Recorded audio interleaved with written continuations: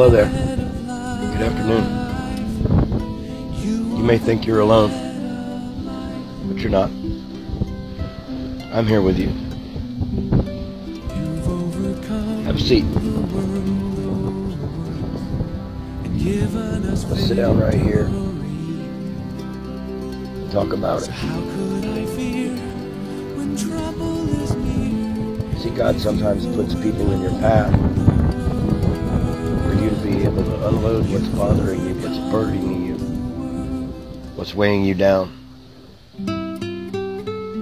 I just want you to know that no matter what place you come from, what you do, what you've done,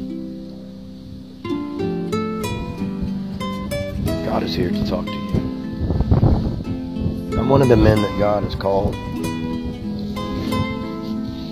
to be a listener, not just a talker. So if you need to unload it and you ain't got no one else to talk to, just remember, you can come here. Sit down right there. And you're not alone. Jesus loves you. So do I. God bless you.